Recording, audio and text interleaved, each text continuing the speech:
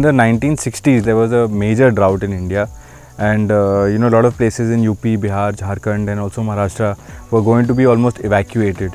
So then that's when this this hand pump actually came into existence. UNICEF and the World Health Organization of course were the ones who were major contributors in the making of this and it's not only in India it's in a lot of other countries also in rural areas this same similar hand pump can be found. There are a lot of things about this hand pump that people don't know. People see it all the time and these days obviously now there are like electrical pumps and stuff like that for water. So people don't use it that much but in the rural areas in the villages people do see it. This is the india mark ii hand pump. It is based on the old sholapur hand pump. A lot of people might have seen it. The old ones you'll see will have a s handle and this pipe will come on that side.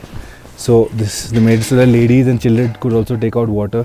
That's the reason why this was made. So this gives more leverage and it's easier to kind of take out the water because it's longer. But the problem is that you know you know you take it down and you bang your hands and your fingers on the ground. To prevent that they had to make this. So this would actually be here and then you would be banging your hands over here. So this was an addition that was added later. And another drawback of this is that to service it you have to actually take this whole thing apart. There are a lot of pulleys inside which are very tough to put back. This actually needs cement.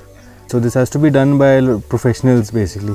But nonetheless this thing has you know saved a lot of lives. Not many people know this fact about this particular device. If you want you can really google it and you'll come to know more about the india mark ii hand pump. And uh, you know i don't want to go on too much.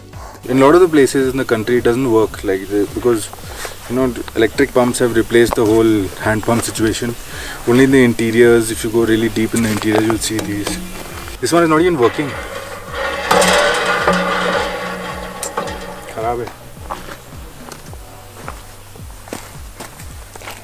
This particular thing you could say kind of cause of the major population of India because many lives have been saved by this particular device so that's it for now and thank you so much bye bye from Bhelev actually we are in Bhelev वो तो बोलना भूल ही गया we are in Bhelev right now in the middle of nowhere right now and yet we have a hand pump here so that just goes to show that you know how well this thing has done over the years so that's it thank you for watching over and out